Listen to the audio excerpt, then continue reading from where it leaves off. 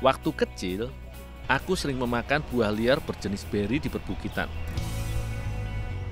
Rasa buah yang manis dengan sedikit rasa getir membuat aku dan kawan-kawanku dulu gemar memakan buah ini. Sudah lama sekali aku tidak memakannya. Aku menemukan buah ini lagi di Bukit Tarabunga, Kota Balige, Sumatera Utara. Oh ini banyak nih kak.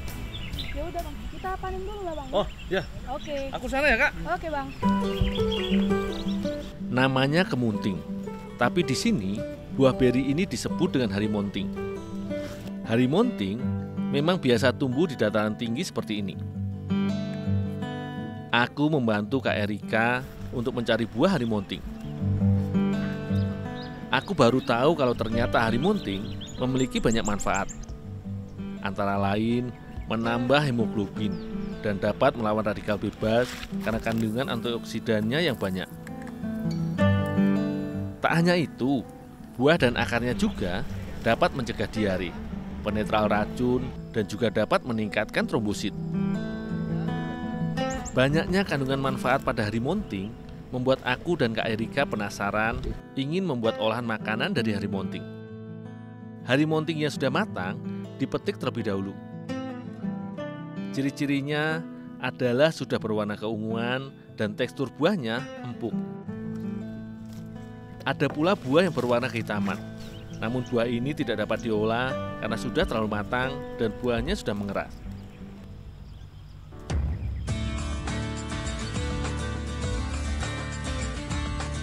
Olahan yang akan aku buat kali ini adalah kudapan khas Tanah Toba, yaitu ombus-ombus.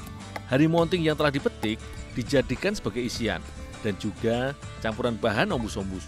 Kak Erika memotong harimonting menjadi kecil-kecil. Sebagian potongannya akan dijadikan sebagai isian dan sebagian lainnya akan dijadikan sebagai campuran adonan. Sementara Kak Erika memotong buah, aku membantu menumbuk beras untuk dijadikan tepung. Aku menumbuk beras yang telah direndam semalaman hingga teksturnya menjadi halus.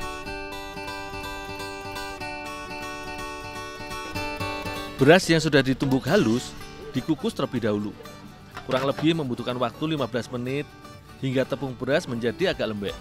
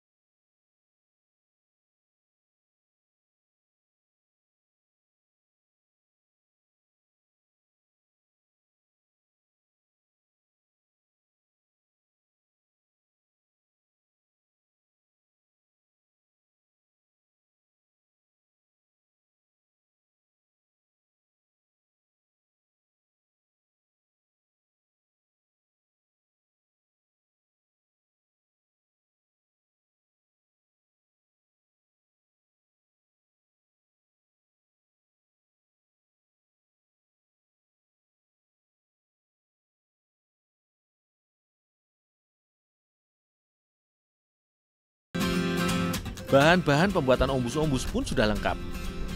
Aku hanya tinggal mencampurkan semua bahannya, yaitu tepung beras dan juga potongan harimonting.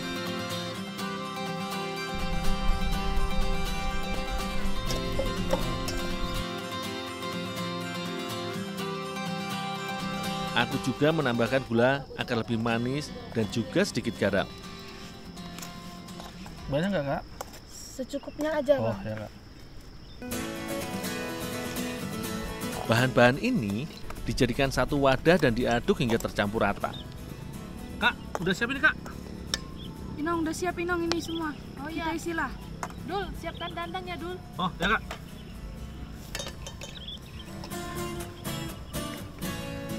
Uniknya, proses ini tidak membutuhkan air. Karena untuk menyatukan semua adonan dan membuat saling menempel, hanya membutuhkan uap dari proses pengukusan. Bukan ombus-ombus namanya kalau tidak dicetak segitiga dengan menggunakan daun pisang. Daun pisang dibentuk kerucut dahulu, Lalu barulah adonan ditaruh di dalam daun. Diselingi dengan potongan hari monting dan ditumpuk lagi dengan adonan. Ombus-ombus siap dikukus.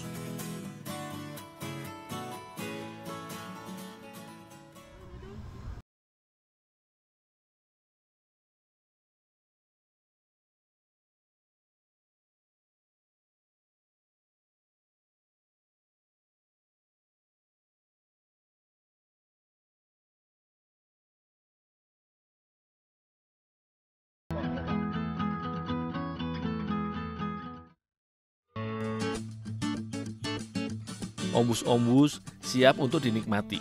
Kue ini dinamakan ombus-ombus karena harus diombus-ombus atau ditiup-tiup dulu untuk memakannya.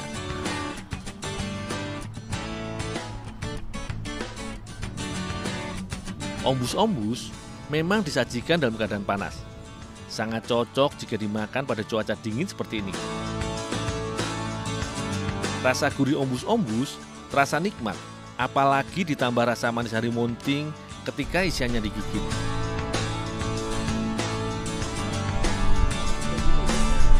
Hmm, enak sekali rasanya. Menikmati pemandangan Danau Toba dari Bukit Tarabunga ditemani dengan ombus-ombus benar-benar suatu pengalaman yang tidak terlupakan.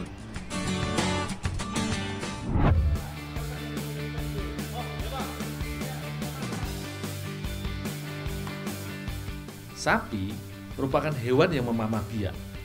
Rumput yang dimakan sapi akan masuk ke lambung pertama, lalu dikunyah kembali dan masuk ke lambung kedua. Rumput yang berada di lambung kedua inilah yang menjadi bahan dasar pembuatan pakit-pakit. Hari ini, aku akan membantu Kak Wika untuk membuat pakit-pakit kesukaannya.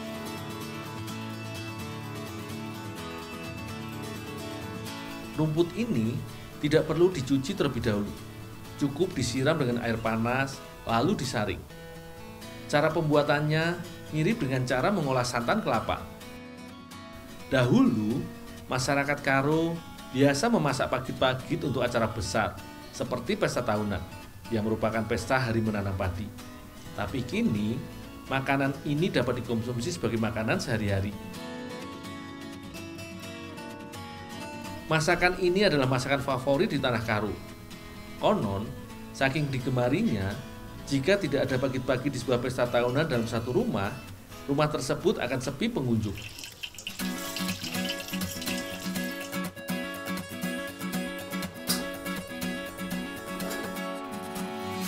Bahan pembuatan bumbu pagit-pagit cukup bervariasi, antara lain bawang merah, bawang putih, kemiri, jahe, lengkuas, dan juga andaliman. Tentunya bahan-bahan ini ditambahkan dengan gula dan juga garam. Semua bahan ini diulek hingga halus dan tercampur merata.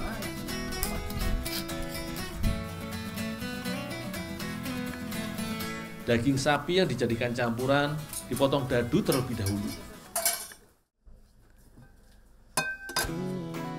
Hasil perasan pagit-pagit tadi kucampurkan dengan rebusan air hangat. Barulah daging yang sudah dipotong direbus bersama dengan rebusan air rumput. Selama memanaskan pagit-pagit haruslah diawasi. Perebusan air sering kali meluap dan menimbulkan buih. Jika tidak dibuang, buih ini akan mengerak dan masakan menjadi tidak nikmat. Dul, ini dagingnya. Oh, ya kak. Nah, aku punya tip untuk ibu-ibu di rumah yang suka memasak olahan daging. Agar lebih cepat empuk, aku memasukkan sendok ke dalam rebusan daging sapi. Hal ini merupakan rahasia dapur yang sudah lama ada. Ternyata memasukkan sendok ke dalam air rebusan bukanlah isapan jempol belaka. Daging yang diberi tambahan sendok terbukti lebih cepat empuk dari yang tidak diberi sendok. Dari segi ilmiah, sendok stainless merupakan penghantar panas yang baik. Panas api yang hanya berasal dari bawah periuk tidak merata. Dengan ditambahkannya sendok, maka di dalam air akan terdapat dua penghantar panas. Yang pertama dari bagian bawah periuk dan yang kedua dari sendok. Bumbu yang sudah ditumbuk dimasukkan ke dalam periuk. Tak lupa, aku juga memasukkan potongan kencong dan irisan peti kawal. Seketika wangi masakan mulai terasa enak. Agar lebih harum, aku menambahkan serai dalam periuk ini. Ada wangi yang khas dari pagit-pagit ini.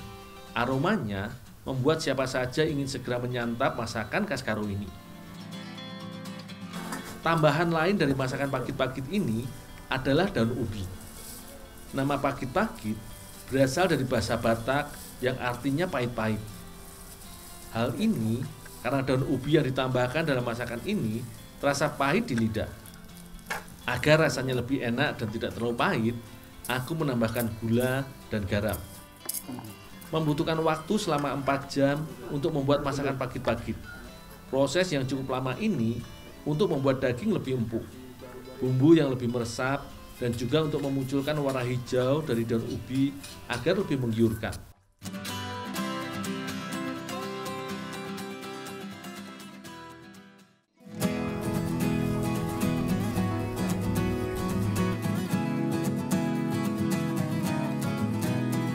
Akhirnya, pagit-pagit sudah siap disantap.